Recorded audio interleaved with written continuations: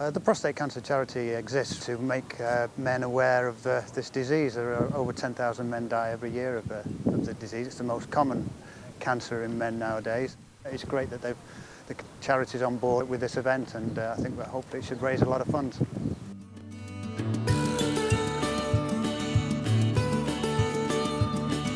I'm nervous actually, yeah. Yeah, he used to batter me 25 years ago, so he's gonna... All right, go.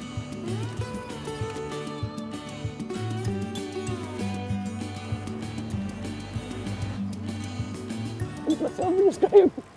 We're still good.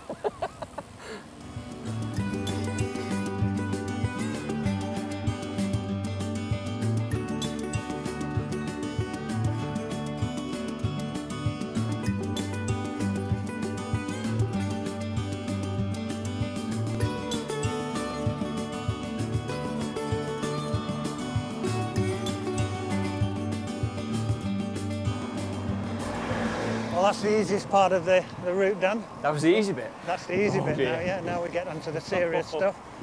And uh, virtually that's the last of the flat until the finish in Teignmouth. So Is it right that you designed this course? it is, yeah, I did design it, yeah. Thanks a lot. I don't think I've trained anywhere near enough. Can't talk anymore now, we're going uphill. You do realise that, don't you?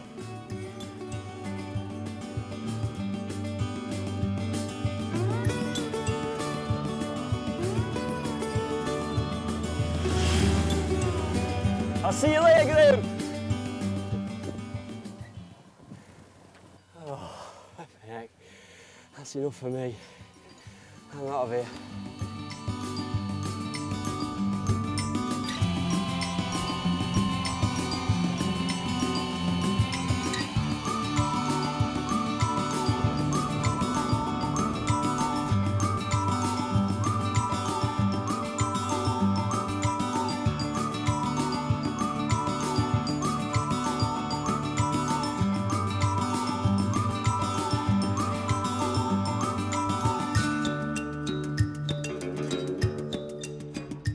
Well, here we are on the, uh, the other coast. We don't think it's all over because coming up is the, probably the hardest climb of the day. We've got about 75 miles in the legs and now we've got the infamous Peak Hill. And this is going to be a real tough test for everybody.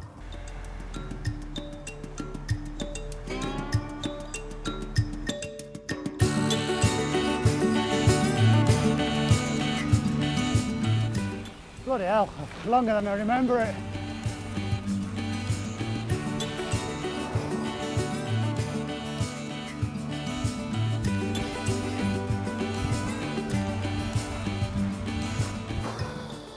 The hills over.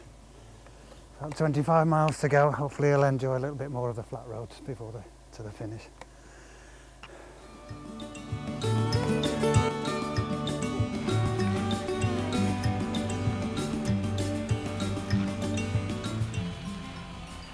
Well, if you think Peak Hill's too tough for you, remember that uh, there are three of these uh, tour rides, one in the southwest, one at Stoke, and there's also one in London.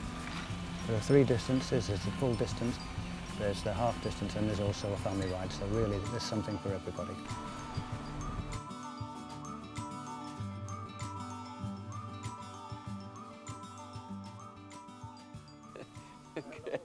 Graham. Hello there. Where have you been? Oh, I got to half distance. That was enough for me, Uh, mate. Gonna have to do some training. Anybody wants to do that race, aren't they?